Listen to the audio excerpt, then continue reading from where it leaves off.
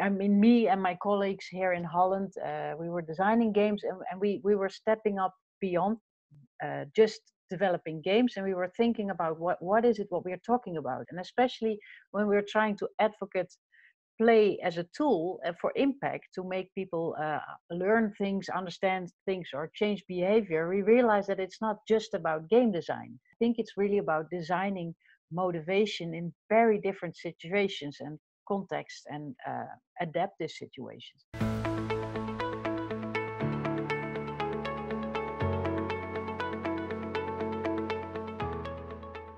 Hello, I'm Ellis Bartholomeus, and I'm a, a, I call myself a play alchemist. I'm a product designer from origin, and uh, when I was studying it, I like to do signage design to, to point and help direct people where to go, where they want to go. And um, then I became a graphic designer, web designer, interaction designer. And in 1999, I developed my first educational game. So that's 20 years ago. And since 10 years, I'm doing research on how do we design motivation and what can play really do. And I think you've recently been plunging into some new stuff happening in our crazy mixed up world with uh, hackathons. Yeah, I'm uh, tomorrow the hackathon is starting, but we are preparing already uh, as a team, and we're trying to uh, to to build a product uh, in four days' time uh, with a team to uh, create something that can help solve corona problems. And this one is a local problem of people in the care industry for taking care of people at home if in a, in a vulnerable situation and mental issues, how to inform these people about corona, how to assure and reassure these people, and uh, what can we make and how can we reach out to them. And that's also thinking about tangible me- methods or digital methods. Uh, we don't know yet. Well, I look forward to hearing about how that all plays out, and it's wonderful you're involved with that. So, today you're going to share your game thinking teardown. And you did a game thinking teardown of Fitbit, right? Yes. Why I did uh, chose Fitbit? Well, actually, I'm a, a quantify self freak. I love uh, finding numbers about me and learning about me. So, I, as a hobby, I always have been doing that. And for the Fitbit, I heard so many times recent years or for many years that people say, ah, a Fitbit only works for five, four, four, five, six weeks and then it's done. And um, when I was in the uh, in the course uh, of uh, the certified course for uh, game thinking, um, I learned about the, the, the four steps of uh, uh, onboarding to mastery or the the habit building and um, the four steps. Sorry, and um, and then I thought that that would be interesting to do a teardown on Fitbit to really show what it is about more than only what what what the people in generally think about about uh, Fitbit. So I wanted to dive more deeper. As a designer, I have been very much involved in the, the those first phases of how to uh, get people to know some product, how to onboard them, how to make them start uh, um, uh, building a habit. But the mastery is actually one of the things why I wanted to become a game thinker uh, certified one because I think that mastery level is the most interesting one. Because also in, in game design, uh, players, the motivation in players is that they want to uh, become a master in what they uh, aim for. So in that path, I think it's most interesting, but it's so often overlooked. So for this, I totally focused on the mastery path and only the, that story of uh, how can I dive into that. So I'm totally uh, uh, leaving out the discovery, onboarding, and habit building, but we're going to talk about mastery. Here you can see what Fitbit themselves say about mastery, uh, the mastery path of using Fitbit. They on their website they are communicating these testimonials of people using uh, Fitbit for long term and for a very big meaningful impact. And that's those are interesting, but somehow how authentic they try to make it look it is also sort of a advertising. So i try to dive deeper and interview people who i know that they uh, are using uh, fitbit for a longer time longer than six months. Well for instance me i interviewed myself and i'm a non-stop uh, daily fitbit user. Actually before the Fitbit, I have had have had already four or five tracking devices, and um, and I've been using many of them, trying to see what what they did.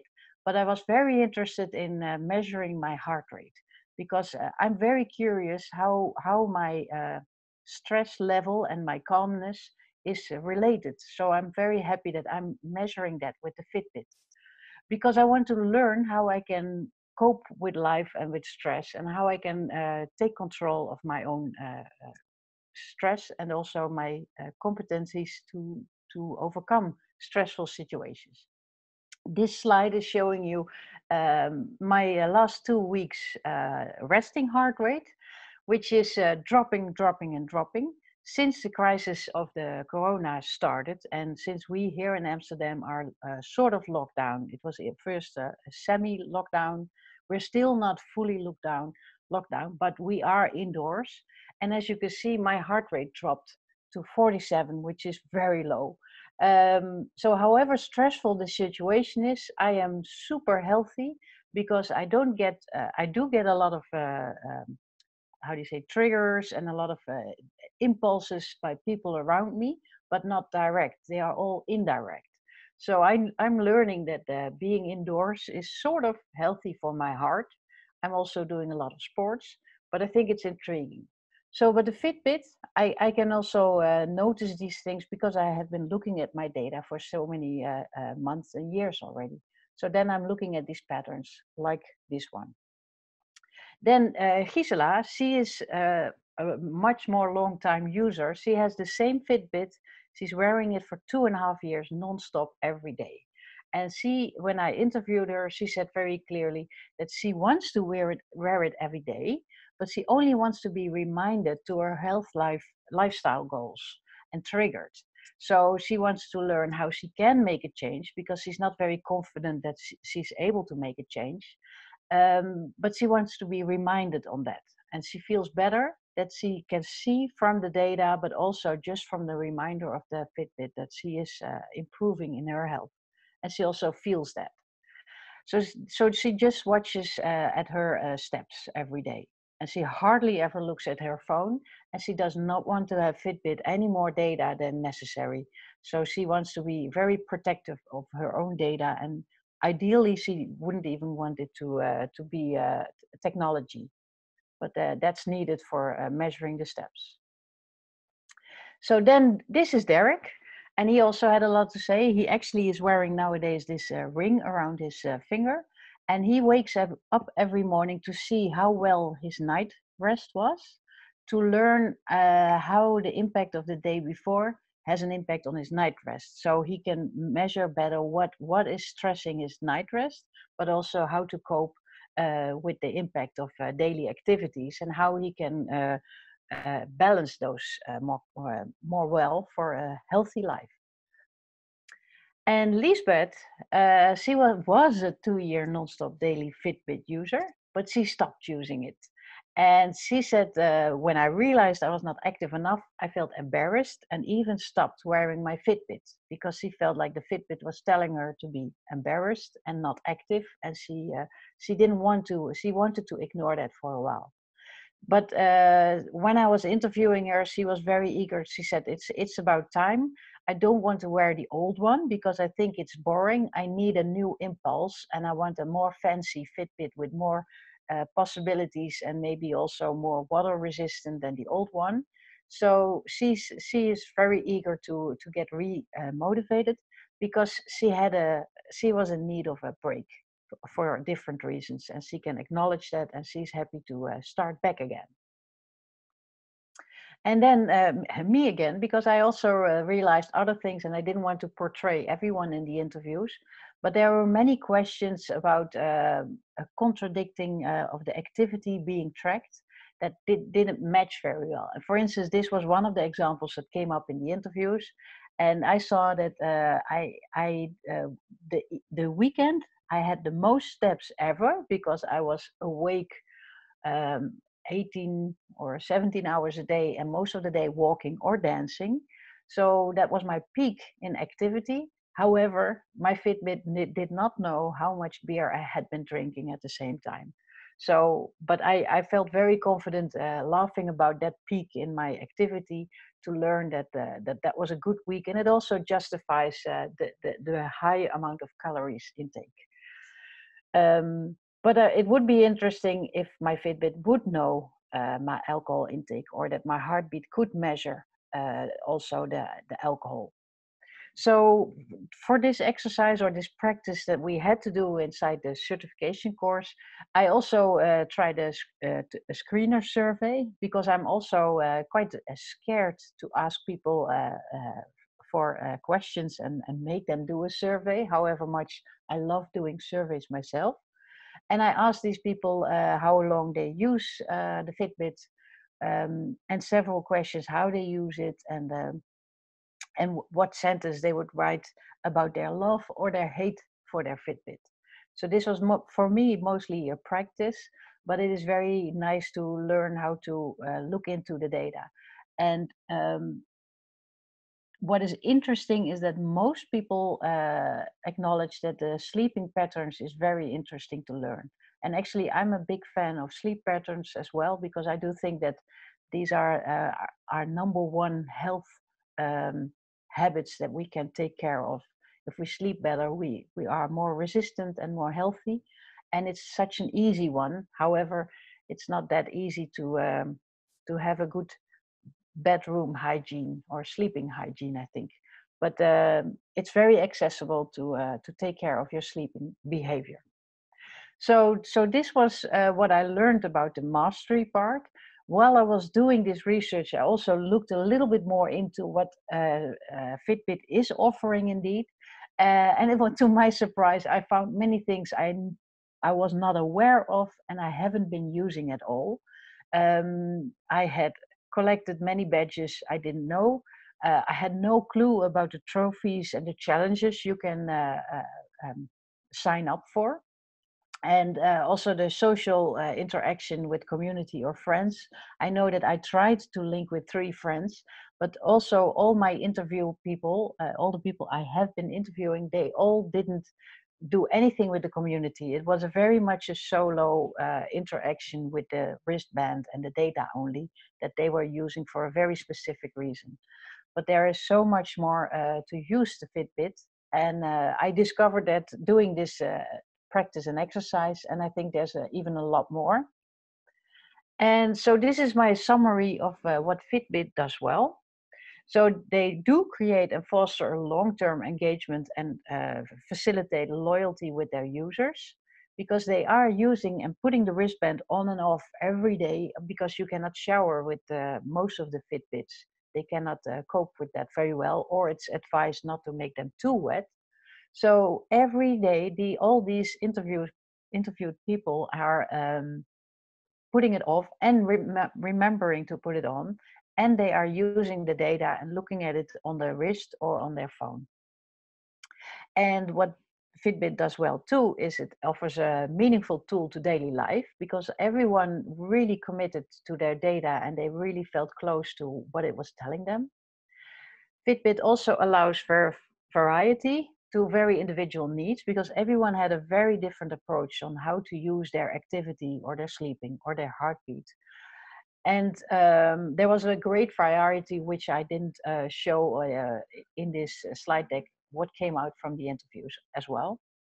And then on social level, all interviewed users use, use none of the social community features.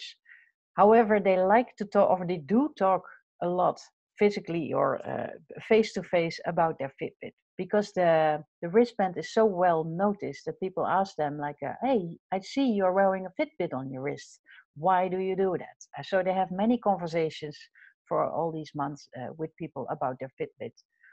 And for branding and mer- merchandise, Fit- Fitbit is not overly present, and I think that that is what Fitbit does well. People re- recognize uh, the the wristband, but uh, it's not shouting the brand and it's not overdoing it. And uh, I think that that's a very positive thing uh, that Fitbit does very well. So I'm not I'm not shouting uh, like I'm a brand fan. I'm just using this device, and it's called Fitbit. So what Fitbit could do better is um, offer better service for the mastery level. They could find ways to communicate with uh, these senior users how um, what what else they can do and explore the facilities that um, that Fitbit is offering because I do receive newsletters and it does tell me to get a, a paid subscription for this and that but I'm, I don't have interest in that but they could also onboard me on all the, the, the easy things just to uh, to make me explore my own device or invite me at least. So there's a loop in this uh, invitation onboarding habit building I think that's very interesting uh, also for mastery level. Don't don't forget about those people up there to remind them and invite them for the for the different purposes and usage of uh, your product. And for branding and merchandise uh, many of the people i know were wearing different um, wristbands and fitbit doesn't uh, provide anything of that uh, they they have an opportunity there, but it's sold uh, offline and it's uh, uh, I mean it's sold online, but it's out of Fitbit's control. Um, but I think there there's a lot to do with these um, um, for, accessories. Then for the battery usage, in my case today, accidentally I forgot I was charging my Fitbit, so I lost many um, steps and I, I hate that when I do that. I also lost, I think, four or five hours of heartbeat measurement. So that that could be nice if uh, if the battery would last longer. But it, it's not. I'm not complaining in that sense. It lasts quite long. But if you use Bluetooth, it uh, runs up more easy. So and on the feedback, uh, many people would like more detailed feedback from the device itself on the wrist while they're doing a training. They would, would like to see more, and they also would like to customize uh, the data a lot more to find out what they need, what they want. And for instance, uh, I cycle a lot, so therefore I don't manage many steps because it doesn't me- measure cycling that well. And I would love it to uh, measure my swimming. And that was also what other uh, people were uh, asking. And for the design of the wristband, for instance, for kickboxing or things that uh, involves a lot of activity with your arms, you cannot wear a Fitbit, and that's also uh, a pity. So these are the things that uh, Fitbit uh, could do better. And then to sum up, Fitbit is a really great product. It has great uh, fans and long-time users and uh, loyal users. but there are many opportunities to Im- improve Fitbit as a product and um, all interviewed users uh, are very committed and en engaged for daily usage of, of uh, their Fitbit. And I think daily is, is really quite a lot. Eh, for all the products I've been making, um, it's not easy to, to, to get people to use something daily. Um, voluntary, if there's no need, but because this is very voluntary to, uh, to use a Fitbit um, you're not aware, uh, all the interviewers are not aware about any extra services and also don't know about uh, the paid services. They couldn't be bothered. So the Fitbit is doing what they need. And then they did change the usage after a month from the original intention. They realized that they thought the Fitbit would make them more active, but all of them were uh, using it in a little bit different way than they thought at first. So that's also interesting if you take the Fitbit uh, teardown for the full four steps. Um, um, funny enough is that nobody is embarrassed, uh, but yeah, yeah, uh, they are proud to show that they are actively needing help for their healthy behavior. Because actually, the Fitbit could also show like you are lazy, you need a Fitbit to activate you. That's also what a lot of people say, uh, not not using the Fitbit, but if they are blaming the Fitbit, they say like you become like a slave of your data, or um, yeah, you, you, it's being blamed and shamed a lot. But actually, everyone is very proud to say, yes, I'm actively involved with my health, healthy behavior, and I do need a device to help me remind to that. So I think that's also a very good statement of this thing that you're wearing around your wrist. That's also why I put this uh, picture there of the ball and chain on the ankle, something to to to to be uh, a burden or something you don't like or it's annoying but also shameful because you are convicted. This is not the case with everyone who uh, was interviewed. They are they feel very uh, autonomous and uh, secure self-secure about uh, taking care of their health and i think that that is a very good thing if a, a product can uh, deliver that. And that's uh, the end. A silver and golden line around the fitbit. Thank you very much. Thank you so much for sharing that. Something i really love about what you've done is you took the game thinking teardown framework based on the mastery path the four steps of the mastery path you made it your own. You said, I'm going to focus on mastery because as a game designer, that's the part I really want to get my thinking around. I want to practice the, the, the whole thing a lot more. I want to become much more a, a master in that. I recognize so many parts uh, in, in all your tools. And uh, so I'm very familiar with it, yet not at home yet. You're on the path. Yeah. I think with your background, um, being from UX and web design and game design and serious games and games for good and all of that, it game thinking really fits because it's very much a cross disciplinary practice. I'd like to know for you, what what did you get from learning game thinking in the way you did with the folks from around the world. What was that like for you, and uh, what impact did it have on you?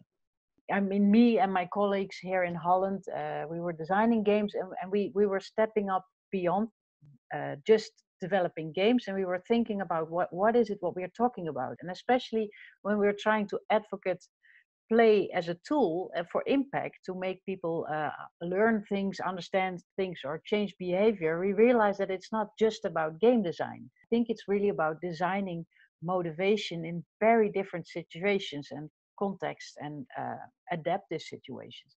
And for that, I like uh, your your your model for the explaining the game thinking that it's about system design, design thinking, game design, and agile, and and being being lean, and how to develop new products. And actually, I think that that that is the golden middle. And what I also um, because we are trying to think in systems to to come up with long-lasting, sustainable solutions, and we are trying to solve wicked problems uh, with games. But then there's no linear solution to that. And we have to think of systems to make a really um, complex solution that will it adapt itself towards the, the growing problem. As for instance, now Corona is something that we didn't uh, see ahead. And now everyone is trying to predict the future for tomorrow or for the day after tomorrow. But we realize that we, we are almost unable to do it. But we're trying to find a way like what can we do to make a change happen? And i think that that's so important in your uh, uh, four models is that that's in the middle. It's like finding a solution and being flexible and ambiguous and um, taking care of complexity in a, in a much more uh, interesting way. I connect with you very much on the system thinking and system design. I think a lot of the worst responses going on right now in our world to the pandemic we're facing are due to a lack of systems thinking, a profound lack. What would you say to somebody, just like really directly, to somebody in your circle or that you met who is uh, an up and coming product designer, trainer, facilitator, game designer, and is considering being certified? I would tell them do the training and learn how you can in the fastest way do do tests in in, in a variety of ways do proper tests to validate validate your choices and also uh, find the arguments you need for your stakeholders for your client for your players in your design decision. And it really helps you in a very fast way to kill your assumptions. It's really about killing assumptions building new assumptions but also confirming your assumptions to more factual and also find finding reasons to communicate it within your team well, in in, in my experience with many game companies around me, uh, they still use the intu- intuition to design the game and then are surprised to see their players play with their game.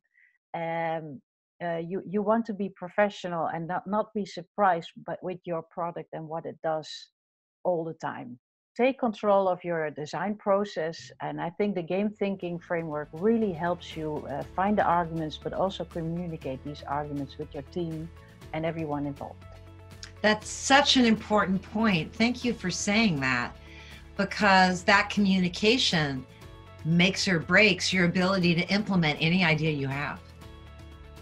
Yeah and true. as we and as we know innovation and game design is a team sport want results like this for your project or your client's projects? Hop on over to gamethinking.io slash programs to learn how you can work with us. We can help you get to product market fit in record time and build products that keep your customers coming back again and again. The link is in the description